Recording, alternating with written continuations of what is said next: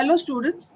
Today we will continue with chapter 6 International Organizations of our class 12th Political Science textbook Contemporary World Politics. Today we will know about reforms of the UN after the Cold War and the reforms of structure and processes of the United Nations, how important it is and why was it required. After the Cold War, there were a lot of changes that happened in the world we all know about it. Soviet Union collapsed. US was emerging as the strongest power. China was also emerging as a great power. New set of challenges confronted the world.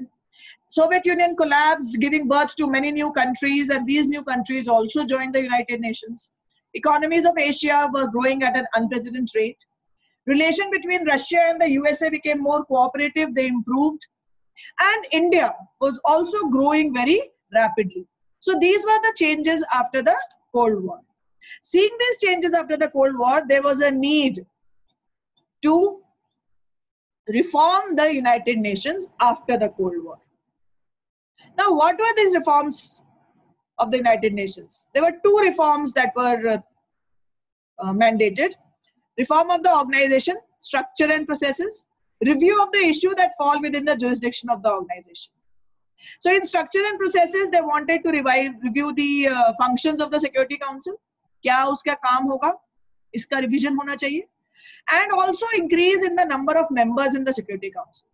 So there are 15 members in the Security Council, including five permanent and 10 non-permanent members. They wanted that this should be increased क्योंकि इतनी सारी नई countries आ गई थी. Similarly, the work of the United Nations should be based on either peace and security mission and some wanted development and humanitarian work also. There had been no, uh, so many things that had come up.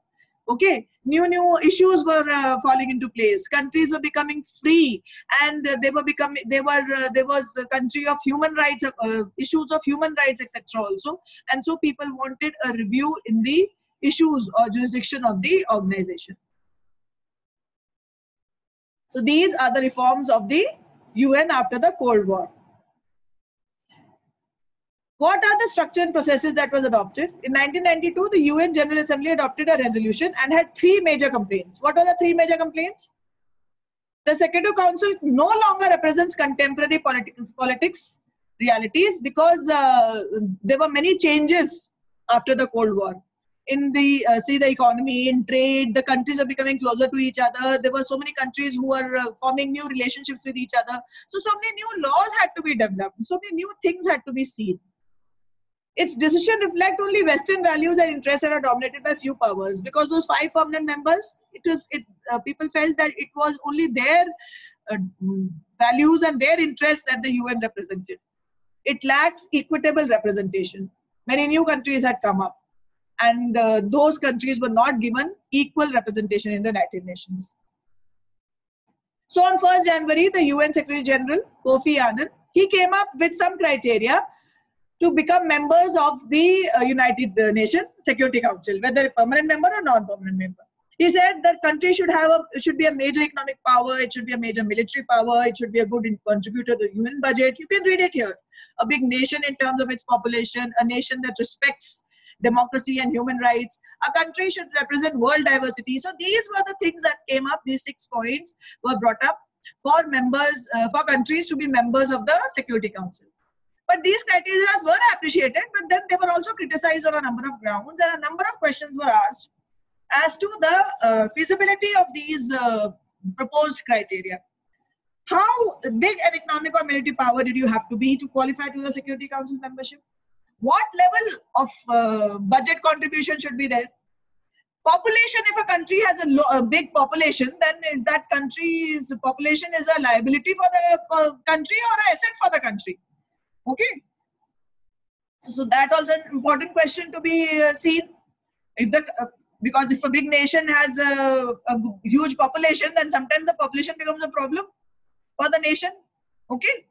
Then respect for democracy and human rights. Countries with excellent records would be in line to be members. But would they be effective as uh, council members just because they have uh, respect for democracy? Then countries should represent diversity in terms of geography, economic status, etc.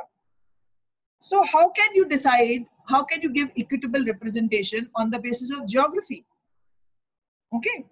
So what uh, criteria will you give to culture and uh, to the uh, representation of the country on the basis of its social, social system? So that is what were the questions that came up in response to the criteria which were given by Kofi Annan. Let us revise once more what are the membership uh, requirement of, of the Security Council. So Security Council has five permanent and 10 non-permanent members. These five permanent members are China, France, Russia, United Kingdom and USA. I'll repeat once more. China, France, Russia, United Kingdom and United States. And these five countries were the strongest countries after the World War II, and so they were given the privileged position and became the permanent members of the Security Council. The advantages of permanent members were one that they have they were permanent, and two they had something called veto power. We'll study about it in the next slide. The non-permanent members, on the other hand, are 10 in number and they serve for two years and cannot be re-elected immediately after completing a term of two years. Okay so एक country अगर permanent member बनती है तो दो साल तक वो अपना टर्म निभाएगी और दो साल के बाद वो वहाँ से परमानेंट मेंबरशिप उसकी खत्म हो जाएगी और वो इमीडिएटली एकदम से फिर से नॉन परमानेंट मेंबर नहीं बन सकती, उसको कुछ साल वेट करना पड़ेगा, फिर वो नॉन मेंबर बनेगी, क्योंकि they want that more and more countries should be represented in the United Kingdom, uh, sorry, United Nations. The non-permanent members are elected in a manner that they represent all continents of the world, and more and more countries get representation. That is why they are not elected immediately after the end of their term. Now, what is veto power, and why did why why did the uh, UNSC feel that it is required? Veto power in taking decision, the Security Council proceed by voting.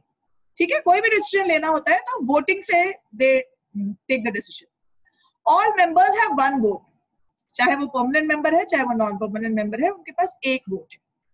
However the permanent members can vote in the negative manner so that even if all other permanent and non permanent members vote a particular decision any permanent member negative vote can neglect the decision this negative vote is veto तो अगर एक member को भी, एक permanent ये permanent members हैं, देखिए आप फ्रांस यूके यूएसए यूएसएसआर